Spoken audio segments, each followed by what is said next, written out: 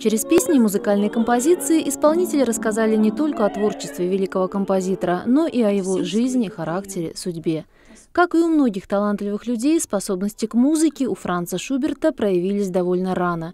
И уже к 17 годам молодой композитор был автором ряда симфоний, а также вокальных композиций. Кстати, всего в его творчестве порядка 600 песен на слова таких известных авторов, как Шиллер, Гейне, Гёте.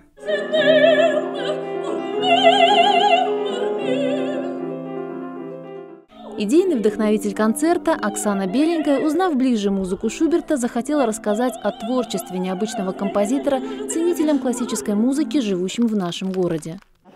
А идея возникла э, как? Под впечатлением.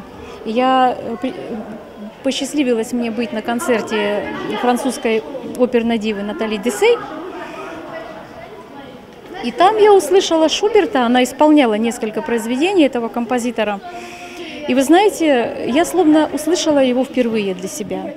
Подбирая репертуар к этому концерту, Оксане Беленькой хотелось показать весь спектр таланта композитора, рассказать в музыке и словах о той эпохе, в которой жил Шуберт. Кстати, разнообразие мелодий и жанров передалось и через музыкальные инструменты.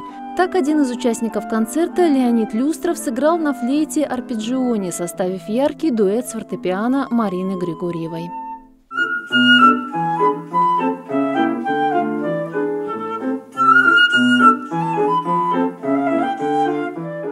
Я очень старался, и мне очень нравится это произведение. И Шуберт сам очень красиво сочиняет музыку.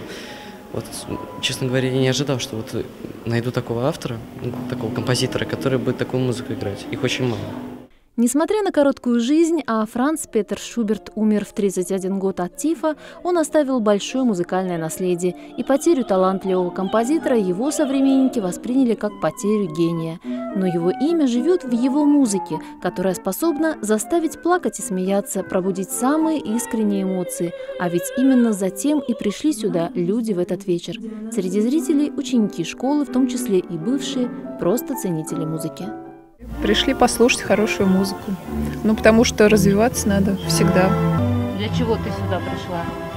Чтобы узнать, какие мелодии сочинял Шуберт. Я думаю, это знакомство с таким популярным и известным в свое время композитором и сейчас не помешает. А я тоже с интересом отношусь к таким концертам.